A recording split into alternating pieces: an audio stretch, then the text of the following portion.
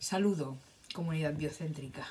Ah, hoy vengo a traerte un tema bien interesante que es el de la gestión económica de los grupos. La gestión económica biocéntrica de los grupos de biodanza y de los espacios biocéntricos. Porque esta es una gran complejidad. La mayoría de las personas que nos, eh, nos titulamos como facilitadoras y facilitadores eh, somos personas con una con un deseo y una vocación de, ayudar a las personas con aquello que nos ha sentado bien, que sabemos que nos funciona, que es eh, realmente transformador eh, y que nos ha transformado nuestras vidas. Y ese es el motivo para facilitar el principal motivo para facilitar. Entonces, ante esta ante este deseo intrínseco que pertenece al alma, nos encontramos con, con heridas, heridas primigenias que suelen, suelen quedarse instauradas desde los primeros años de nuestra infancia y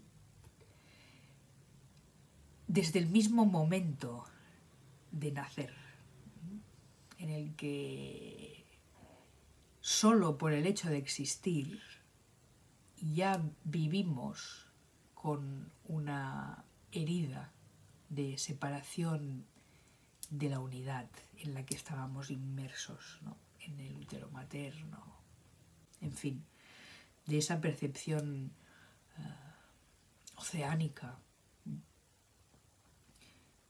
Pues bien, cuando nos encontramos con la gestión económica de los grupos, ahí suelen surgir muchas situaciones que pueden llegar a desestabilizarnos incluso como facilitadoras, no solo, no solo también como, como personas humanas, sino también ejerciendo nuestro papel de facilitar espacios biocéntricos, porque el dinero es una cuestión que está eh, muy difusa, muy difusa. Pocas son las personas facilitadoras que tienen muy claro su situación, mm, eh, su situación delante de este paradigma que impera la cultura, que es el de tener.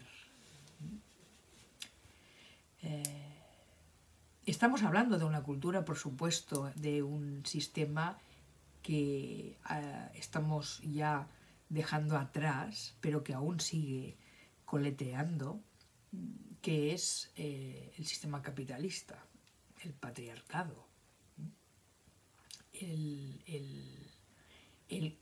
en el que el tener tiene una función muy concreta, que es el de acumular, a toda costa, además, a toda costa, y totalmente desconectados con la vida. Entonces, cuando nos encontramos con una, ah, con una gestión económica de nuestros grupos en los cuales ah, hay un intercambio de dinero porque hay grupos que no hay intercambio de dinero y hay otros, otros tipos de intercambio. Entonces, allí no suele haber tantos problemas. Pero cuando realmente estamos en una situación de intercambio económico, eh, en el cual mm, hemos de valorar nuestro trabajo eh, a nivel de moneda, de una moneda física, que es la que va a, a su vez a intercambiarse por bienes y por servicios.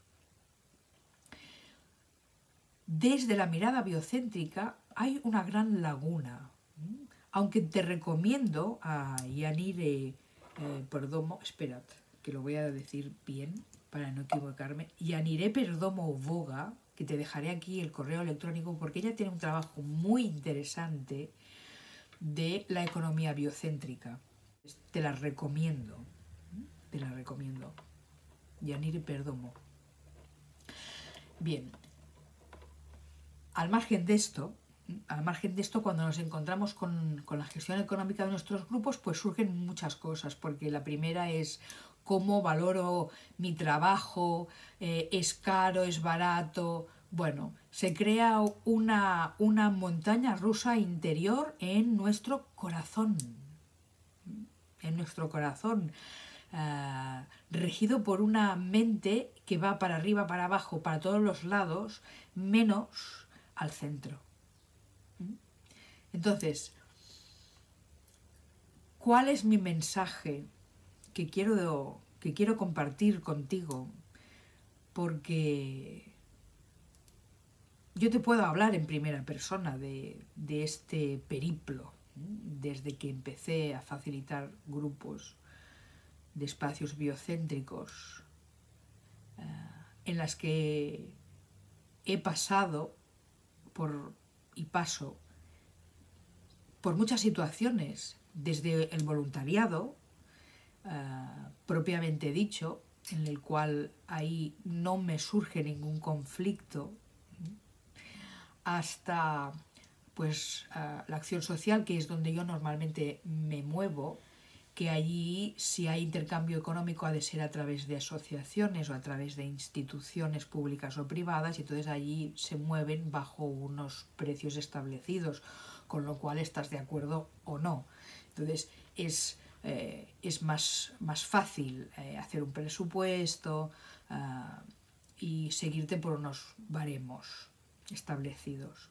Pero después cuando estamos hablando de grupos privados, en los que sí que hay un intercambio económico y que quizás tu caso es el que dependas económicamente de esos ingresos, que es totalmente lícito. Ah, por tanto, la, la, biodanza no deja de ser un sacro negocio cuidado con eh, que esta palabra sea sencillamente un disfraz de lo que en el sistema capitalista se entiende como negocio o como empresa.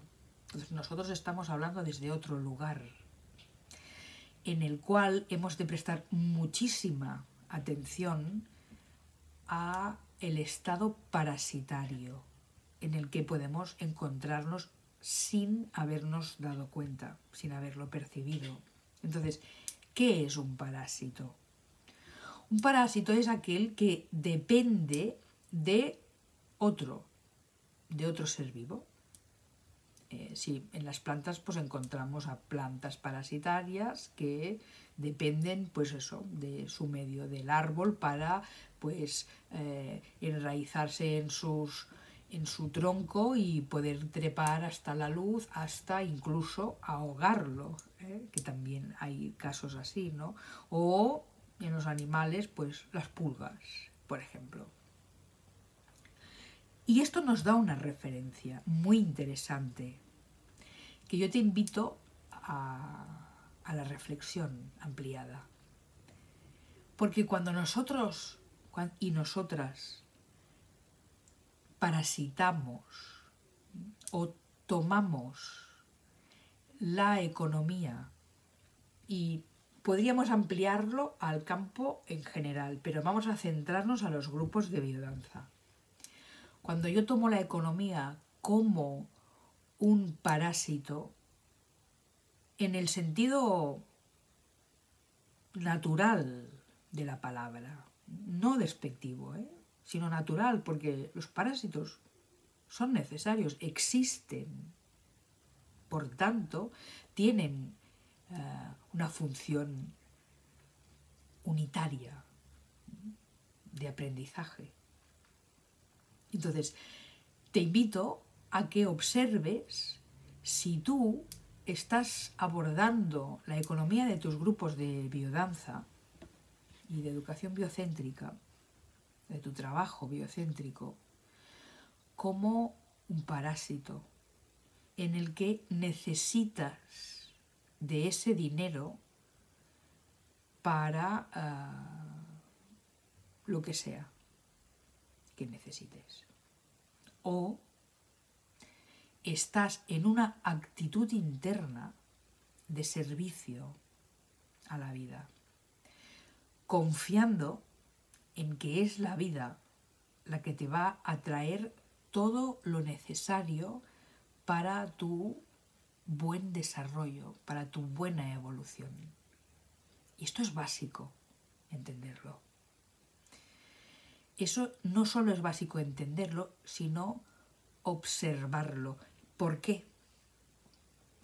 Porque el cerebro funciona en las últimas investigaciones que han salido ya a la luz en las revistas prestigiosas de ciencia, el cerebro resulta que el cerebro y toda la red neuronal resulta que eh, hace dos cosas muy importantes a la vez, que son observar y observarse. Y esto es a la vez. Y no, crea, no le crea ningún conflicto al, al cerebro. Funcionamos así. Esta es nuestra naturaleza intrínseca. El problema está en que al sentirnos separados, nosotros nos quedamos en la observación y nos quedamos allí. Y el retorno hacia adentro nos olvidamos. Y es básico para que el flujo evolutivo de la vida se dé, porque se da igual, absolutamente se da igual, pero cuando no tomamos conciencia de eso, nos podemos creer que somos o afortunadas o desgraciadas, o carentes o abundantes, o que nos merecemos el oro y las riquezas, ¿eh? de ser ricas, o que nos merecemos ser humildes. ¿no? Entonces, estamos hablando de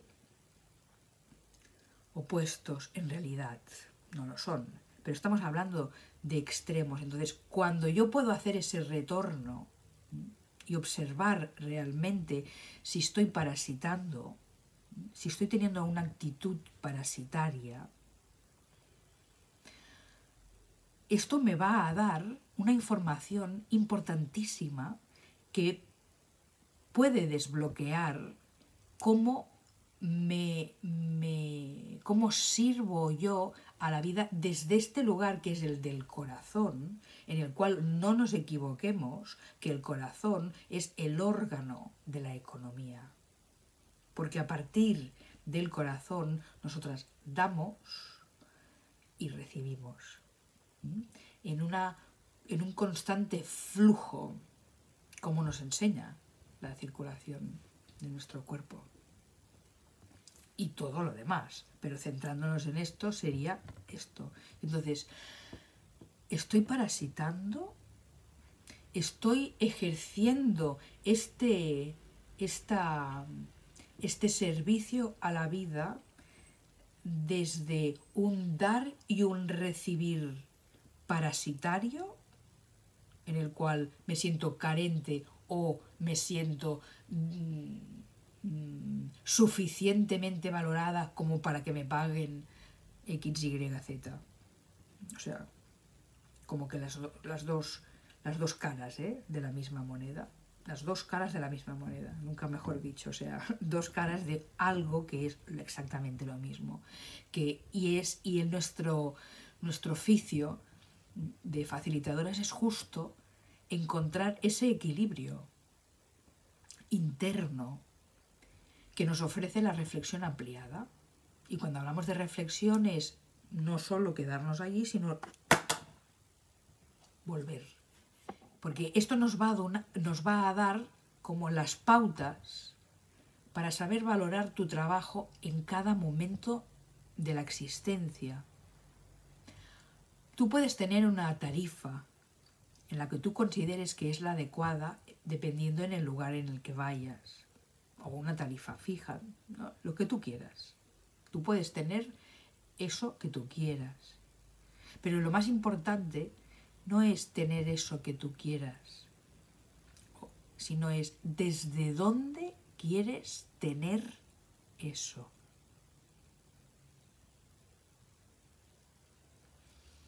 ¿Desde dónde?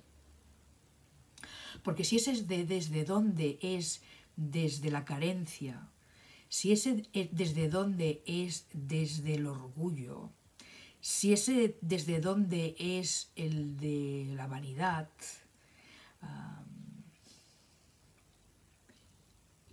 hay que revisarlo. La única manera de saber desde dónde estoy haciendo eso es con la revisión, con la reflexión. Y la reflexión me va, me va a volver a resituar. ¿eh?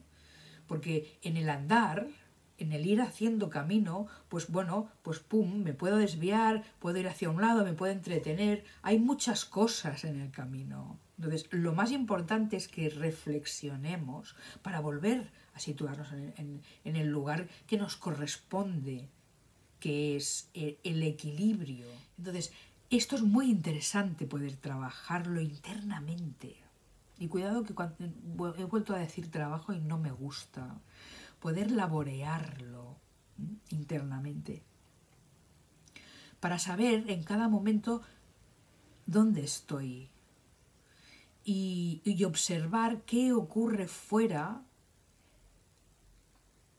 en, cuando me pagan, cuando no, cuando se retrasan, cuando no, ah, cuando los acuerdos a los que hemos a, los que hemos llegado de pagar en tal momento y se saltan porque es así, es así. ¿Qué, qué me ocurre?